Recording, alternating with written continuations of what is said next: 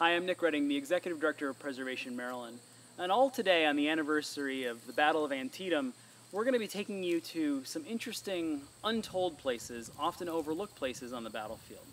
You know, the story of the Battle of Antietam is one often told in the movements of troops in this direction or that direction, and lost in the tactics of battlefield maneuvers and what happens to this regiment or that are the stories of why this place matters, what this place was before that battle happened, and how the stories of this place are really interconnected with the reality of why the American Civil War was fought and the, the context and conclusion that comes of that. Um, really, the story of how the Civil War shaped places like the state of Maryland and like the farm fields that dotted the Antietam battlefield before it was the Antietam battlefield. You know, the young poet at the time, Walt Whitman, once wrote that the real war will never get in the books. And to some extent, that's true. The real war, the challenge of the people who lived here, the people who made this their home, and who lived in the Sharpsburg area prior to, during, and after the war, um, has been a challenge uh, to tell. But it's an important story, it's an underrepresented and often overlooked story, and one that we're excited to bring you to uh, all over the course of this day. Uh, and by bringing you to specific sites and uh, introducing you to some experts in the field, we hope that we have the opportunity to shine a new light on the story of Antietam.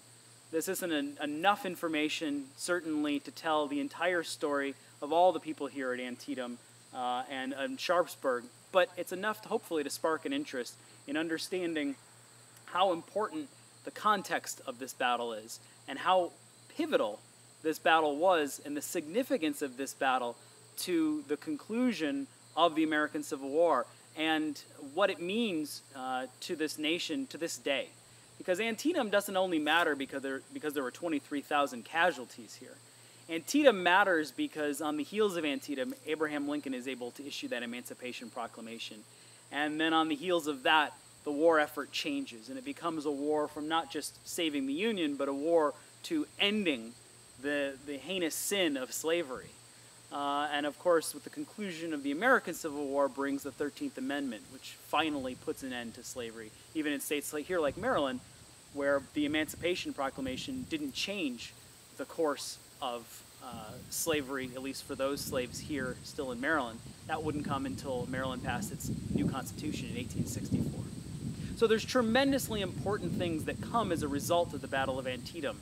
And those things are beyond just the tactics, just beyond the maneuvers. They're the stories of the people who made their lives here, the women, the faithful, the slaves, the freedmen, who all came together and are a part of that bigger picture of the story of the Battle of Antietam, which we're bringing to you all this anniversary of the battle.